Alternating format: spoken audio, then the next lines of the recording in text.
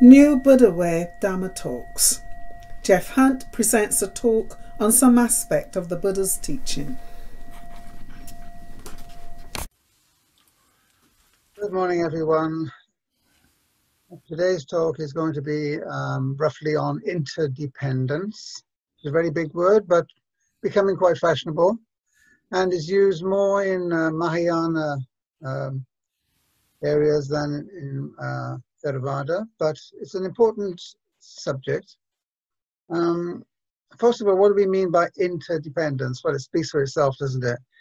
Dependence is reliance uh, on someone or something where A supports B, uh, B supports C. Uh, now it starts becoming interdependent. So A supports B, B supports A, and you can imagine this spreading out as a network of conditions where each is dependent on the other, which means that everything is connected. So this could apply generally. So first of all, I'd like to talk about it as a general principle in just making sense of our surroundings, our relationships, um, what's going on with the environment, etc., etc. All of it, we can we can bottle it as uh, all is interconnected and all things are interdependent.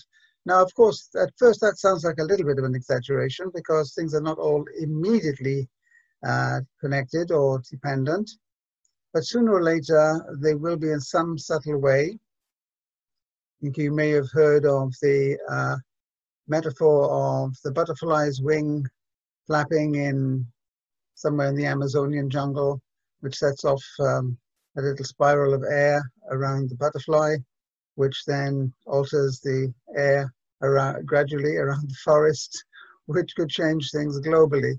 Well, I think it's a nice little um, metaphor to imagine what's going on, but of course it's uh, more complicated and more subtle than that.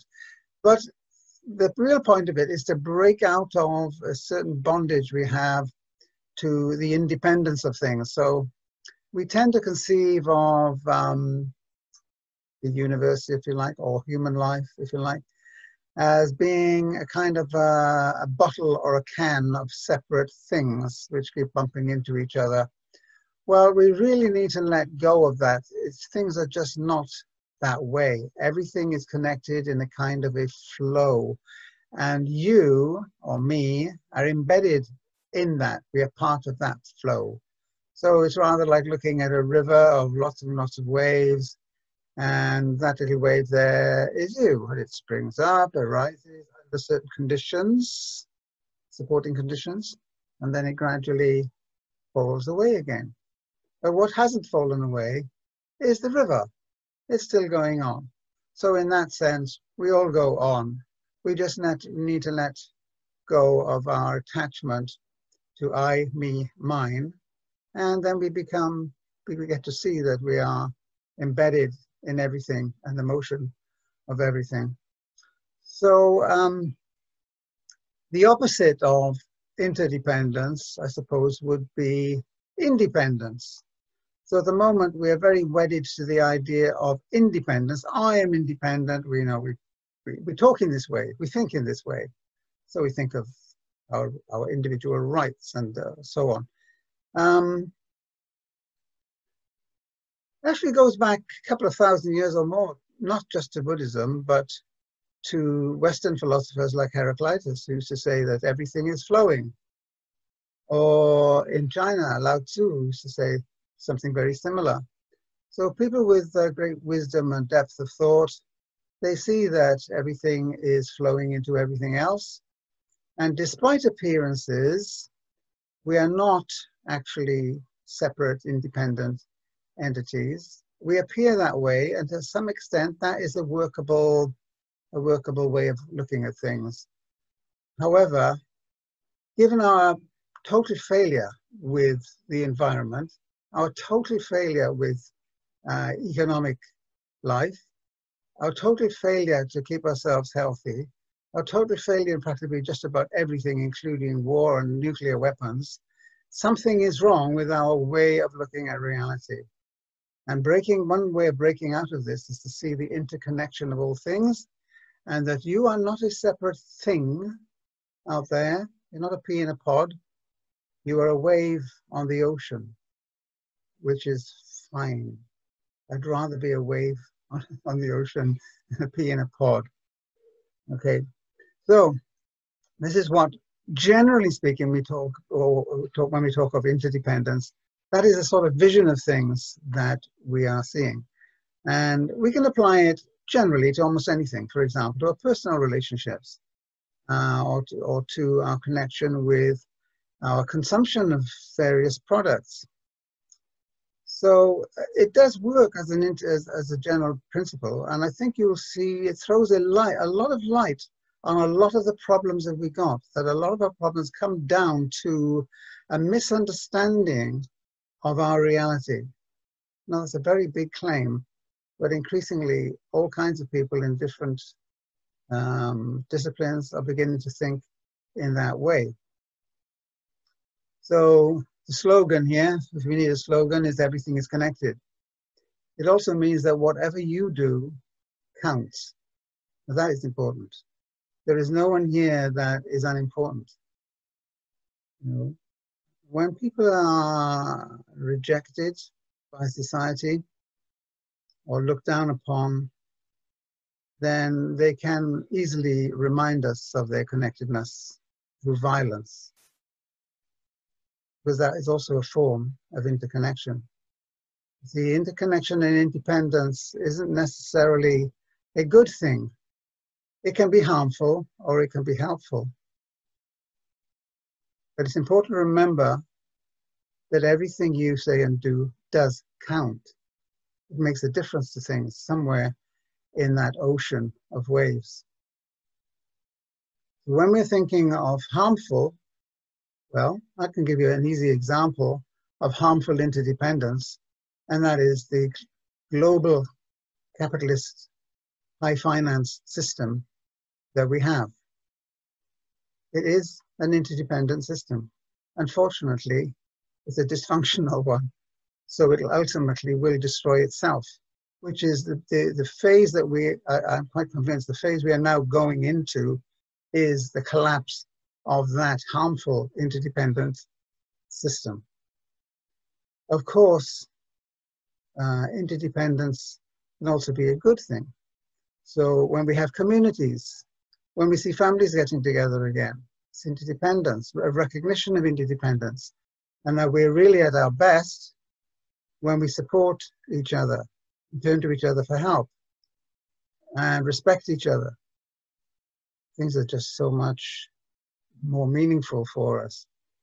So, interdependence. Be careful how you use that word. Not all interdependence is is uh, is good. You have to think. The Buddha, one check on things always in the moral realm is: is this harmful or is this helpful? Okay. Well, uh, an example of helpful interdependence would be, besides what I've mentioned, families, communities, but also growing communities like this one.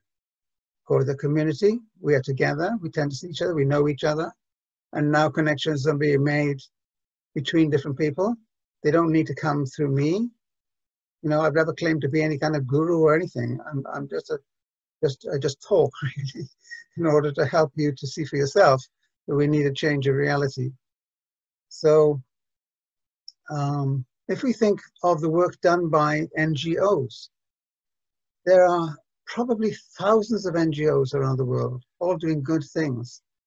All of them very different in some ways, but all united in one thing, doing good things for human beings.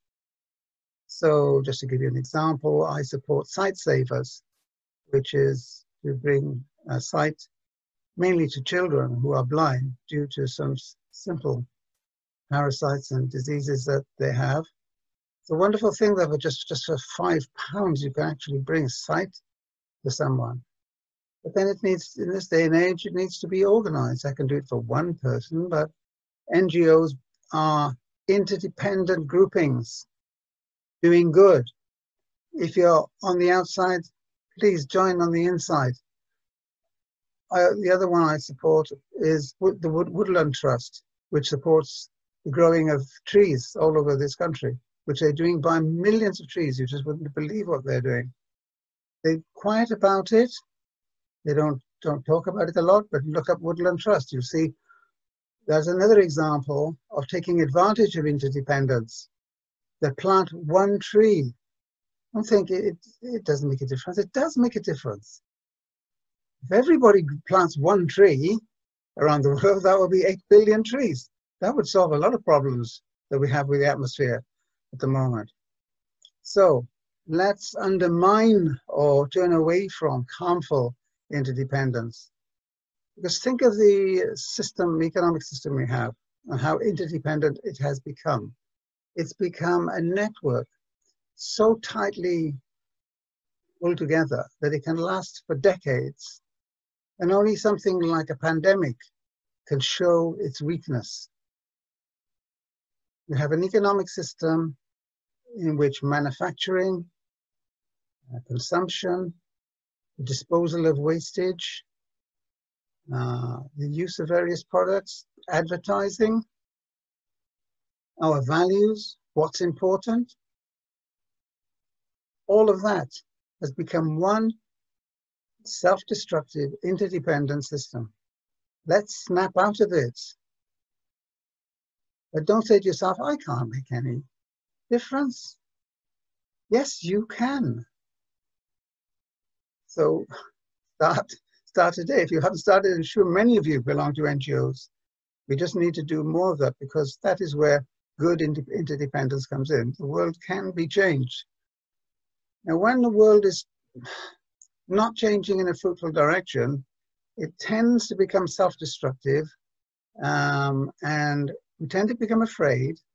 Then we withdraw into what we're familiar with, make America great again, make England great again.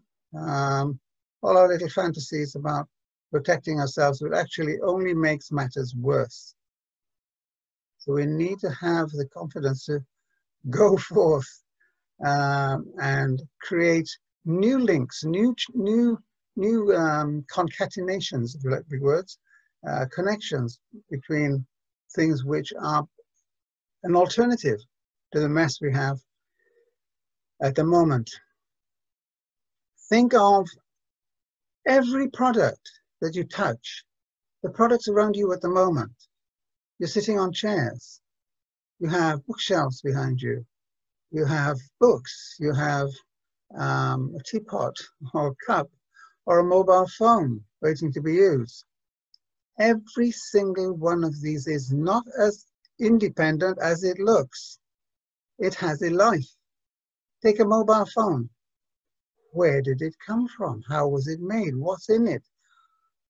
What human labor had to go into it? What resources had to go into it? And how did it get to be that shiny, beautiful little thing in your hand? Now what happens then?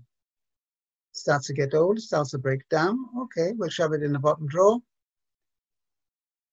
We may take it back to, to a shop. But you see, the point is, it's our mentality that's important. We haven't really thought about where it comes from. I'll tell you where it comes from. It comes from hard, cheap labor in the Congo and other countries where you can find the precious metals that you've never even heard of, like niobium and tantalum. They're in your mobile phone. You've never heard about them. You have no connection directly with them. And yet the mobile phone doesn't work without those things. And it doesn't work without the labor, the cheap labor exploit of exploited African people in the Congo. There's a connection. Because we don't see the product's life as a life cycle. We see it as a finished product in a nice shiny box. Then when it starts breaking down, we don't think about that too much. We might think, well, what should I really do with this? But you know, I could think of many examples in my own family and, and me too. I have too much too much electronic junk around me. I don't know where it's going. I don't know how, even I'm not sure how to dispose of it. But we see what's happening with plastics in the oceans. Just take the, the issue of plastics. In, in, in both the Atlantic and the Pacific, there are things called vortices. There's a vortex rotating round and round, absolutely jam-packed with plastic, destroying plankton, And plankton, by the way, are absolutely vital again to our existence because plankton produce our oxygen and take up the carbon dioxide. Plankton, the most humble little creature, we depend on it. There's interdependence for you, and yet we don't know of it. And if we do know of it, we don't care very much. Because I'm not going to fall into a vortex of used plastic, am I? You know, I'm going to go home and uh, put my feet up. And yet one day that vortex of plastic will come home and hit us because it's killing the fish, it's killing the plankton, and we ultimately dependent, uh, are dependent, interdependent on those things. So we have to think interdependence. Think of what goes into manufacturing a thing. The resources, the labor, etc., etc. It's enormous.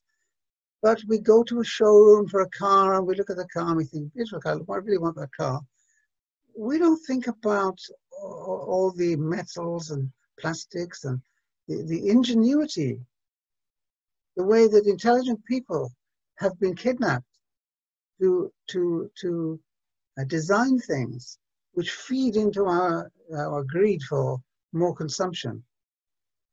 You know, th this obviously can't go on in this way, can it? We need a, we need a change in the way of thinking. So there's, there's the principle in general. There's interdependence in general. So we are talking about the outside world. But actually, as the Buddha teaches us, there is no outside world which is separate from this inside or inner world of mind. They're, inter they're also interconnected, actually boil down to very much the same thing. So what is the, what is the, the Buddhist principle here? Well, in Buddhism, it's generally called dependent origination. That's, that is, that all things originate or, create, uh, or, or give, are given rise to, arise, through the coming together of a host of different conditions. Okay, good place to start. Think of yourself in this respect if you just think, look into yourself, think, this is me. How did I come to be here? I'm not talking about my body. I'm not talking about biology. Why me? Why John or Mark or Mike or Susan or Anne or Jeff or how did I get to be here? I, don't know. Well, I can tell you one thing that an infinite number of conditions had to come together for this me to arise, and that applies not just to me, obviously, to all of you. We need to look at it that way. It is actually astounding and amazing that any one me is here looking out on the world. But what we don't see is dependent origination, that my origins lie in dependence on countless conditions coming together.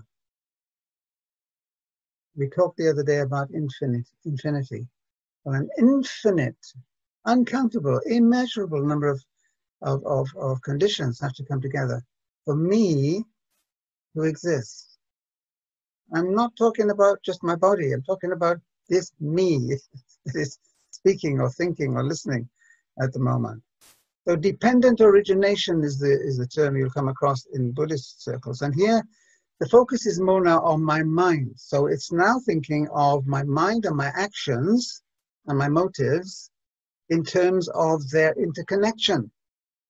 Now remember, the Buddha is trying to help us out here. He says, if you understand this deeply, you become a very wise person. You're able to change some of the conditions that are, that are giving rise to the me that I am. An unhappy me, perhaps, with bad memories, thoughts, anger, etc., etc. Well, it's all, that's all part of the interdependent network. Now, what if I can actually see those conditions arising? The conditions that are helpful for me, my happiness, if you like, and my fruitfulness, and also the ones which are dysfunctional, which are causing my unhappiness. What if I could see those conditions and the interconnections arising well, first of all, I have to acknowledge them.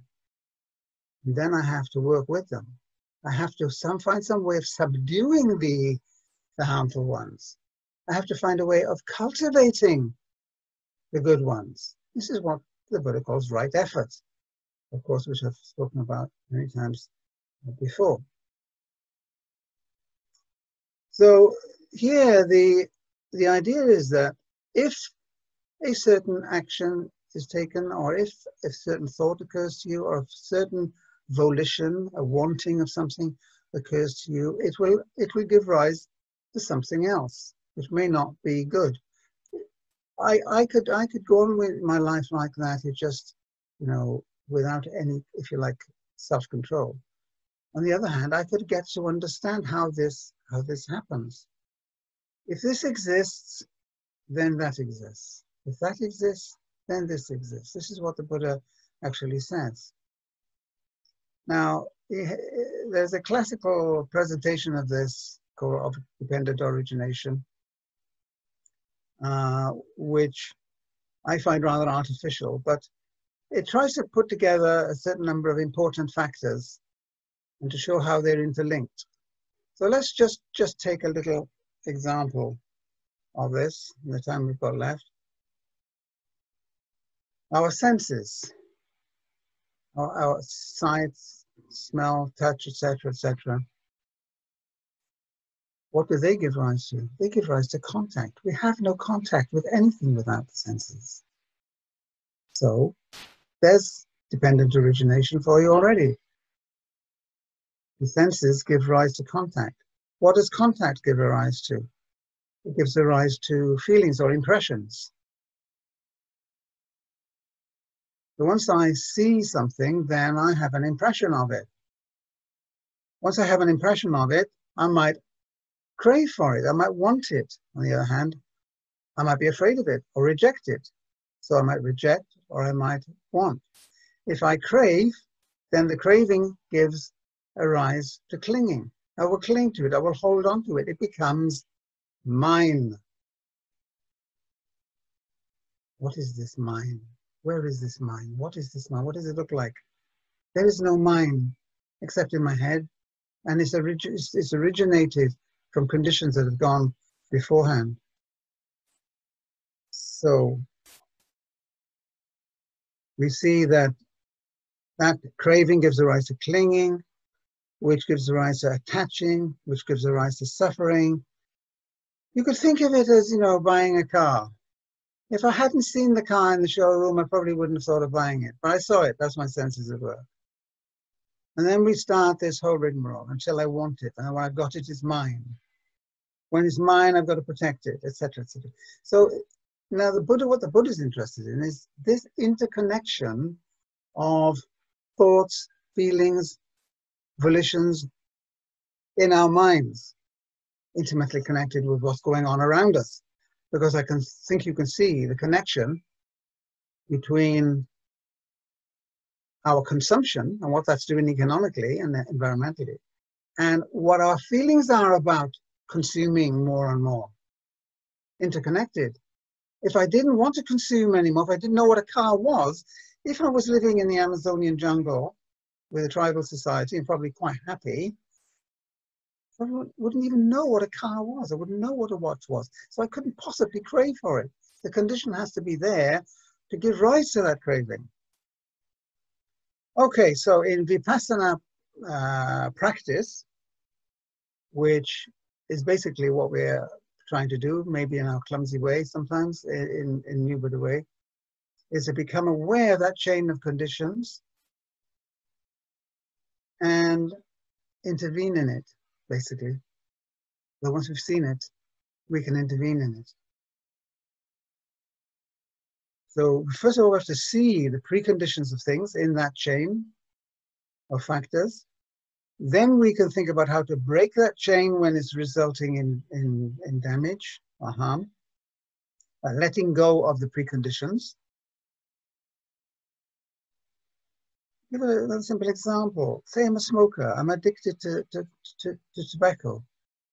Okay, there's a craving. When I don't get it, then I, then I crave for it. Now, it's well known that if you have a craving for alcohol or cigarettes or cocaine or whatever, don't go there. Don't go into a pub.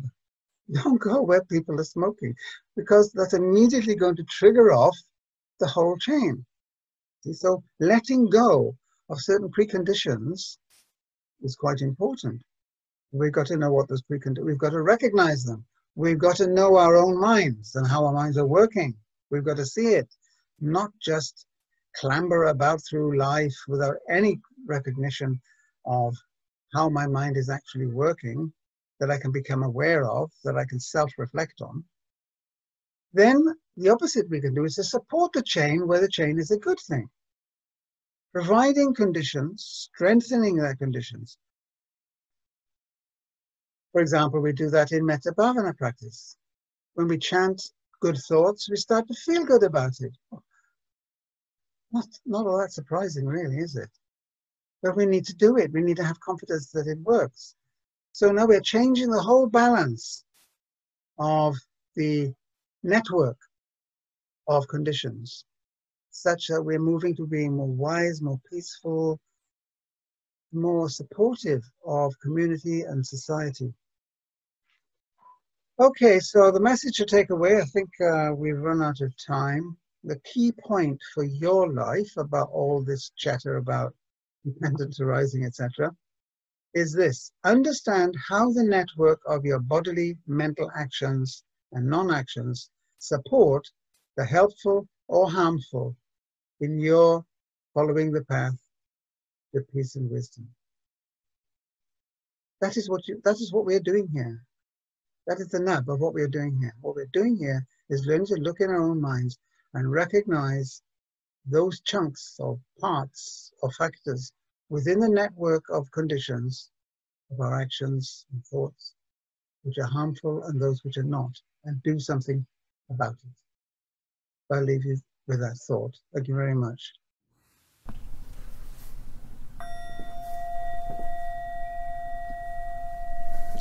New Buddha Way lets go of East and West and starts afresh in the life we have now.